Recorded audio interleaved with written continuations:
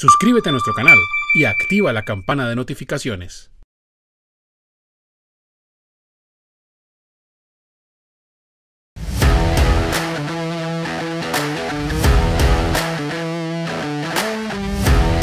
Dentro del ámbito laboral existen diferentes formas de contratación del personal o de servicios, como lo son la tercerización, la intermediación laboral y la figura de contratista independiente. Hoy veremos algunas de sus principales características. Cuando hablamos de tercerización laboral, estamos hablando de un modo de organización de la producción, donde se contrata a un tercero para realizar determinadas actividades, descentralizando algunas actividades, ya sea porque son complementarias o porque son procesos productivos que requieren de cierto grado de especialización y que pueden adquirirse a un bajo costo.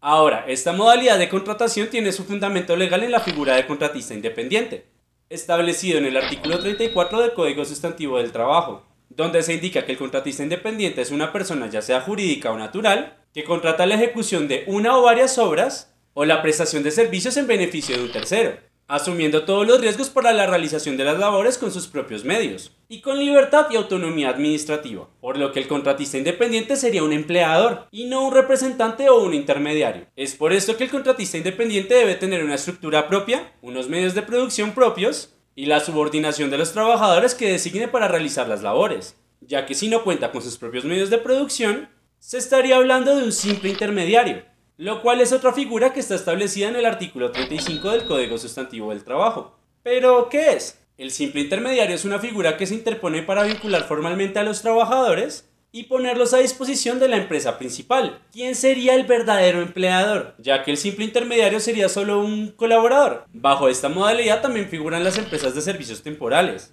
donde el trabajador va en misión a las empresas usuarias y el empleador sí sería la empresa de servicios temporales. Y las agencias de empleo, quienes prestan una serie de servicios como las búsquedas de empleo, convocatorias, remisión de candidatos, entre otros, pero no cumplirían con el rol de empleador.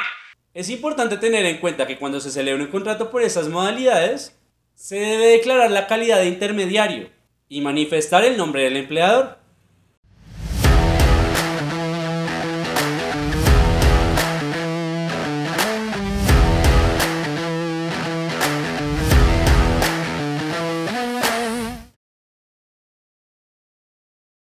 Suscríbete a nuestro canal y activa la campana de notificaciones.